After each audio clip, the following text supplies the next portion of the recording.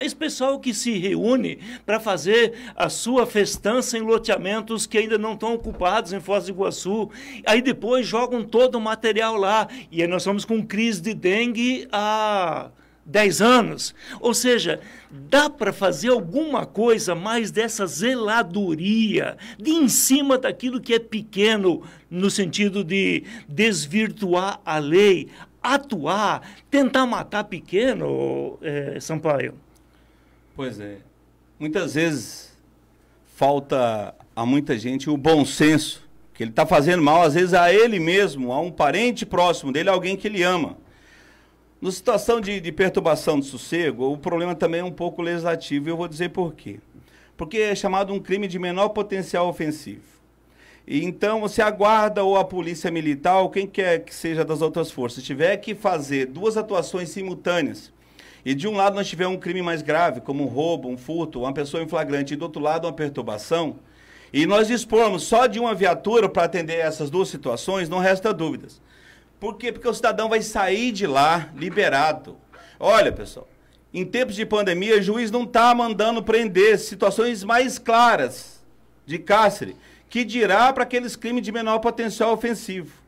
Então, e você imagina o número de chamados que é numa polícia militar no final de semana aqui em Foz do Iguaçu. Ou, ou, seja, mostra que o problema é grave. Certamente precisaria ter um efetivo, tanto de viaturas quanto de pessoas, muito superior a isso aí.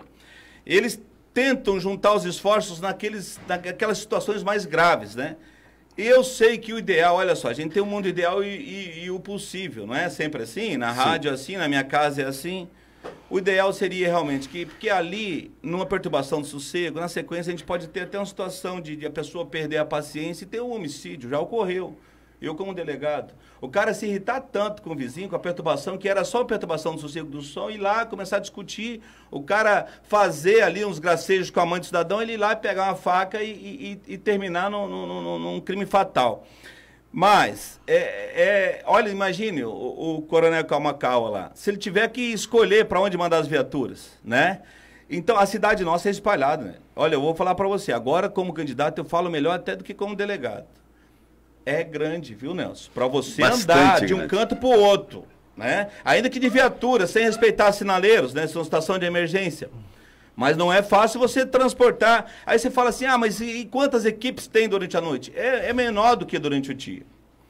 Se durante o dia você já sente que não são tantas, à noite você faça um decréscimo aí. Eu não quero falar em números porque é a situação aí, mas é assim, nós vivemos escolha, fazendo escolhas, né?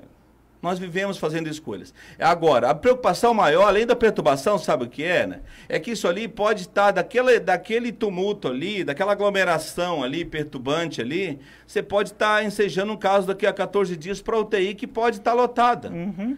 E essa dificuldade, sabe assim, todo mundo cobra do prefeito e do vice a solução para todos, mas a verdade é que em muitos casos, para se evitar o pior, é necessário conscientizar a população que bom senso se faz necessário, principalmente em épocas de pandemia. É muito importante. Se não, é, é, é, não é só aqui que estamos tendo problema, não. Olha só, eu acompanho o noticiário policial do Brasil todo, Nelson. Isso tem causado tanto desgaste para as forças policiais, porque realmente o cara que reclama agora da perturbação, ele reclama da perturbação, mas querendo também que o bailão acabe para haver menos transmissão de Covid. Ele tem dois objetivos, inclusive. Por isso que ele é tão insistente.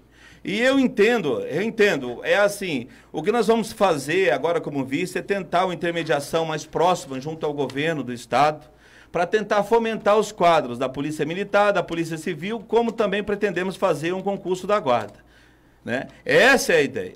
Sem pessoas não adianta ter, como todo mundo fala, tecnologia e inteligência. Tem que ter pessoas para operar esse, esse, esse conjunto de, de situações a fim de ter um êxito na segurança pública.